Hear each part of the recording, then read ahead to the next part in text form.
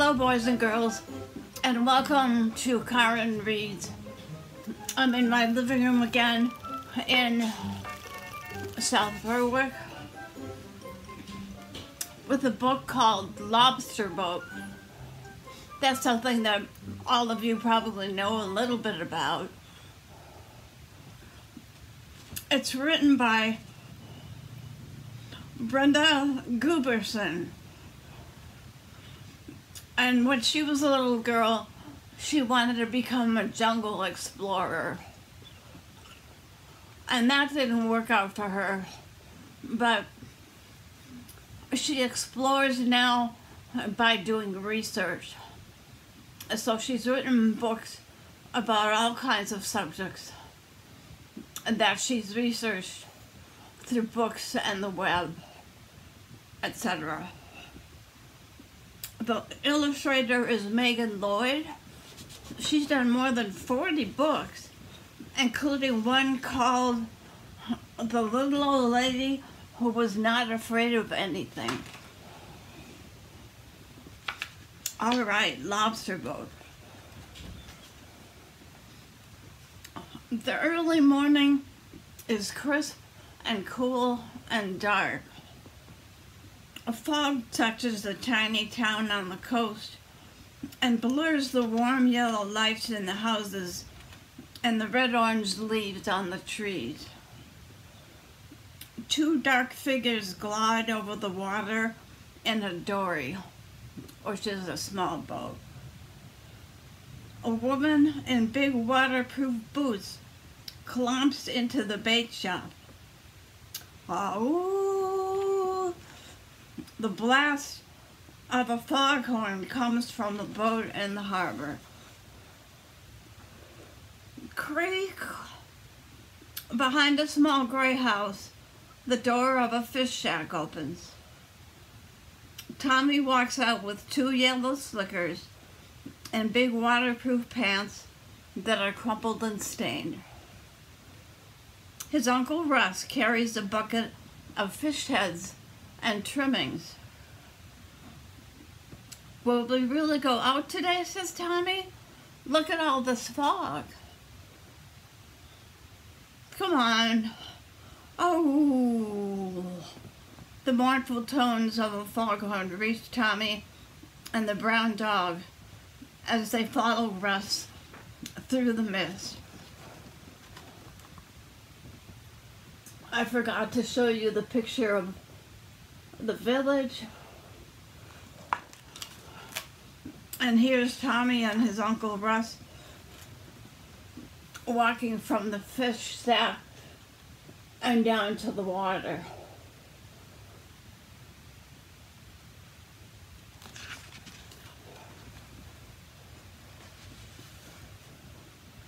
At the beach, the tide is very low. Russ unties the rowboat and drags it down to the water. When Tommy climbs in, the bottom of the boat scritch scratches across the rocky ocean bed. We'll need more bait, says Russ, as he rows them away from the shore. Tommy points straight ahead through the fog there she is, he says. There's our boat, the Nellie Jean. Well, we can't see it yet because of the fog. But we will get to see it.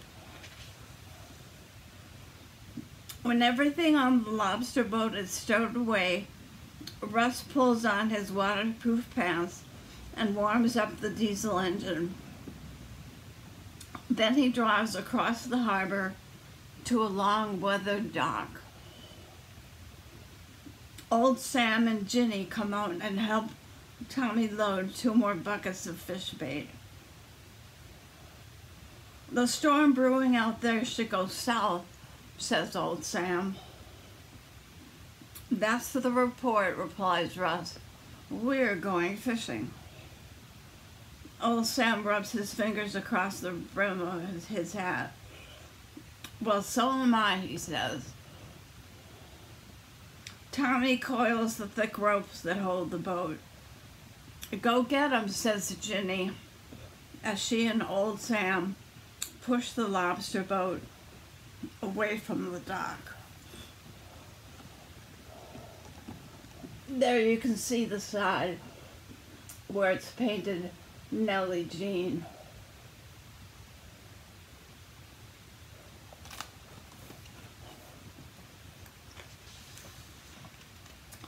The Nellie Jean moves through the harbor. Scree, scree. The seagulls smell the bait in the buckets and fly in close. Scram, you rascal, says Tommy. Too early for your breakfast. He covers the buckets, buckets with a yellow rain slicker.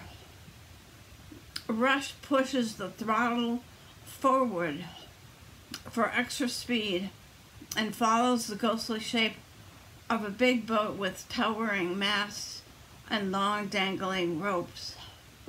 The woo, ah woo, the foghorn sound. The lobster boat sways and totters in the deep waves churned up by the huge boat. The smell of diesel mingles with the everlasting odor of fish and sea. Flicker blink. The faint glow from the lighthouse reaches out through the fog to the Nellie Jean. Russ uses this to steer safely past jagged rocks that stick out above the sea. The boat jumps and jitters over the foamy waves that crash around the rocks.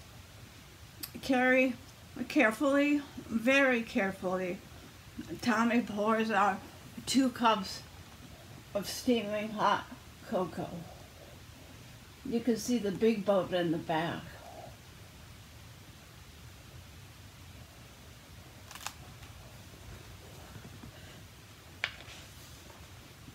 Soon the fog does burn off, and the bright blue-green of the ocean glints in the sun sunlight. Scree, scree.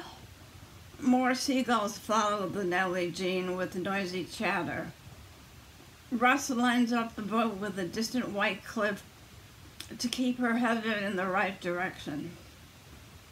Uncle Russ, Tommy shouts loudly into the wind. Are we going to move the traps into deeper water? Russ shakes his head. Not yet. Most of the lobsters seem to be moving across the gravel bottom right by the traps we put in last week. Russ squints across the bright ocean as he guides the boat. Soon they pass a group of painted buoys that are tied to lobster traps under the sea. The red and white ones belong to the Jensen brothers. Old Sam paints his buoys with orange stripes. Tommy grins when he sees the ones painted yellow on top and red on the bottom. Everyone knows that these belong to the lobster crew of the Nellie Jean. Throttled back out of gear, Russ nudges the boat alongside their closest buoy. Getting ready to fish out of a lobster trap.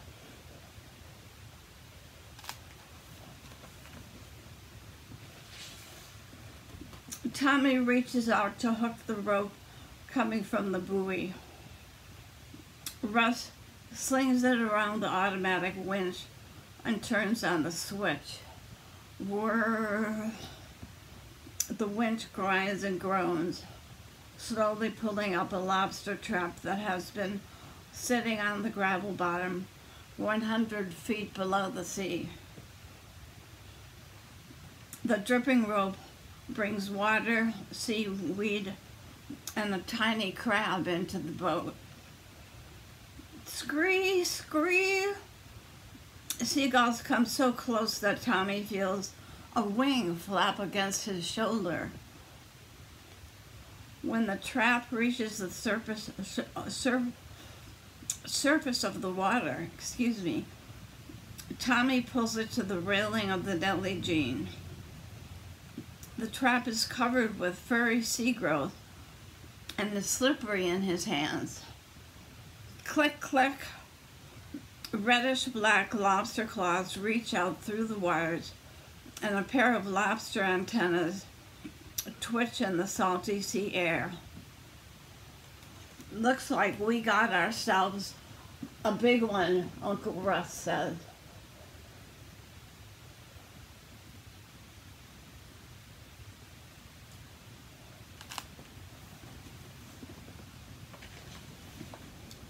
Tommy opens the back door of the trap and carefully grabs the lobster from behind. Click, click go the crusher and ripper claws. Click, clack, click.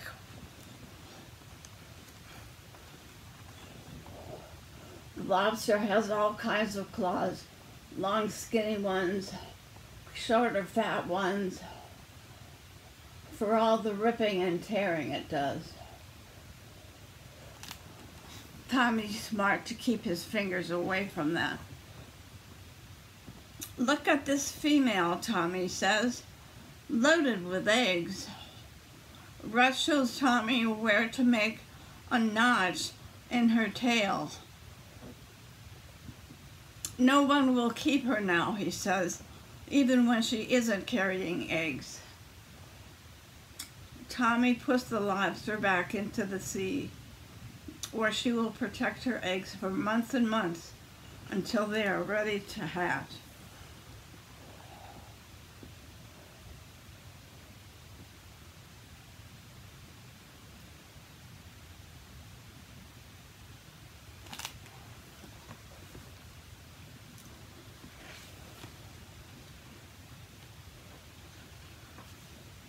Tommy reaches in for another lobster. Too small, says Russ. Click, click, splash. Another lobster goes back into the water. Tommy takes out the last one. Better measure it, says Russ. Tommy fits a brass gauge between the eye sockets and the end of the body shell. The lobster is three and a half inches long and big enough to keep. Russ slips a thick rubber band over each claw. The lobster squirms and squiggles, but the claws do not open. This lobster goes into a bucket of seawater. He's a keeper.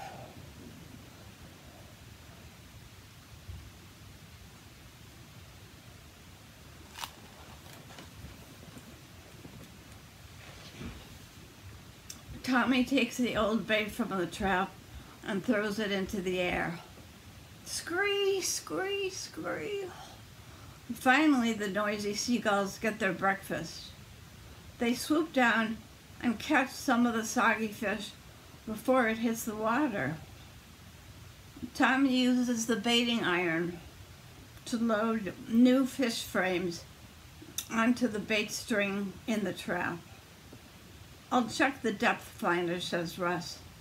I don't want to drift away from that gravel bottom where all the lobsters seem to be traveling.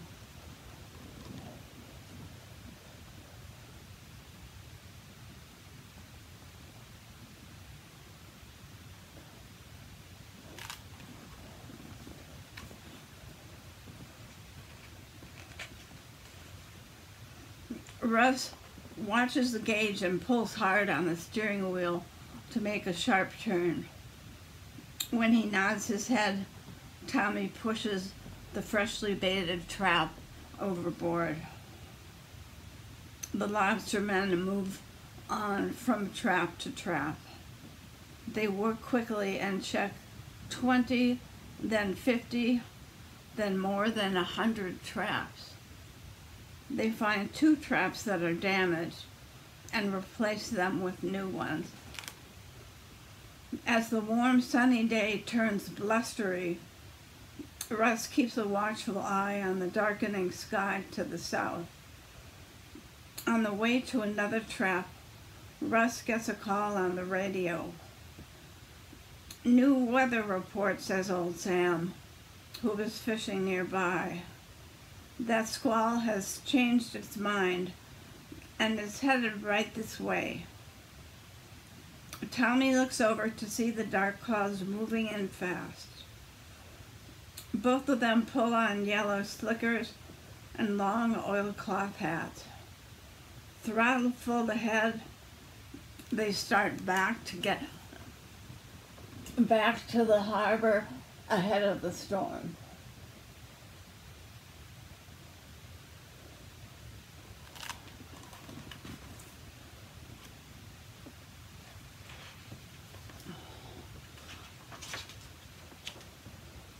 A strong wind comes in to lash at the water and rattle through the wheelhouse.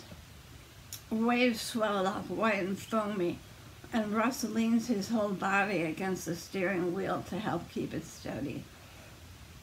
Howling, crashing, the full storm rages around the Nellie Jean. Seawater slaps the bow and pounds on the window. Tommy slips and slides across the deck as he ties down the traps and buckets. The pelting rain turns his fa face bright red. The boat groans and moans and rattles everywhere. Flicker blink. The double flash of the lighthouse reaches them through the drenching rain. As they near the harbor, the wind shifts and turns off the coastline. Gradually, the sea loses its white chop, choppy whiteness, and Tommy is able to stand up straight. He gets out a brush and pail and begins to clean up the lobster boat. Sea urchins, small crabs, and piles of dangling seaweed go back into the sea.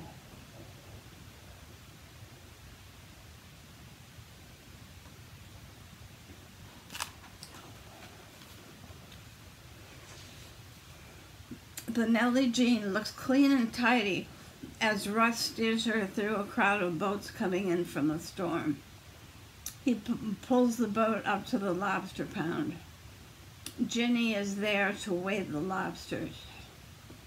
The good news is that you caught more than old Sam, she says. The bad news is that the catch is high everywhere, and so the price is down. Jenny decides to keep these lobsters in a lobster pound, a fenced-in cove where she will feed them for several months. In winter, when lobsters are hard to catch, Jenny can sell them for a higher price. She pays Russ and Tommy, and they get gas for the Nellie Jean and tie her up to her moorage in the harbor.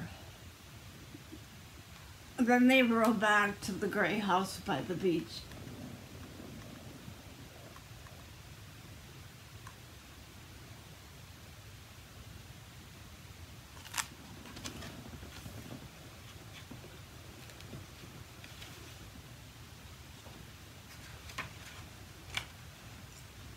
Russ cooks something to eat.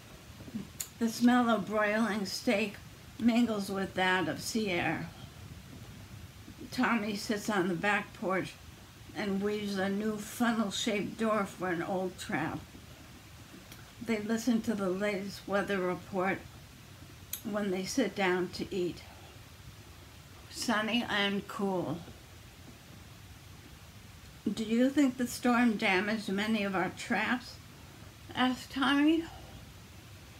Maybe the shallow ones near the rocky ledge, says Russ.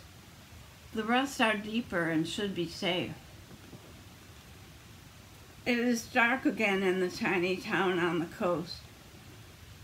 Chains clank, boats creak and sigh in the wind, Bright leaves rustle under the trees.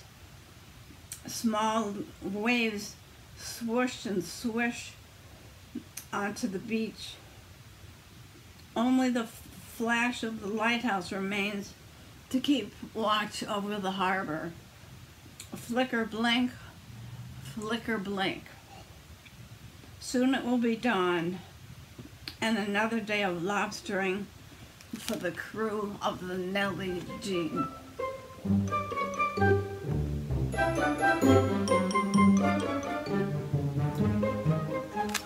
Okay, I hope you enjoyed the book. I'll see you next time.